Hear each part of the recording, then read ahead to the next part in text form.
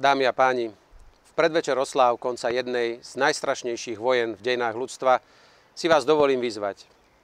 Uctime si všetkých hrdinov, ktorí položili svoje životy v boji proti fašizmu.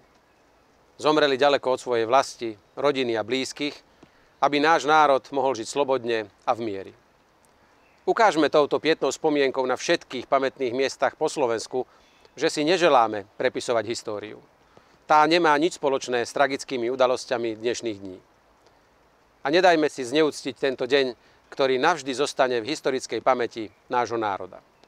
A pamätajme si, že to boli hlavne vojaci Červenej armády spolu s príslušníkmi iných národov, ktorí nás oslobodili a je preto našou morálnou povinnosťou si tento historický odkaz pripomenúť a ctiť.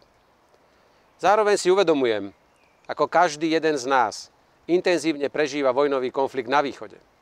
Znepokojujú nás informácie, ako blízko našich hraníc vybuchujú rakety. Žijeme v obavách, ako sa zmení náš každodenný život. Aké sociálne obete budeme musieť ešte priniesť.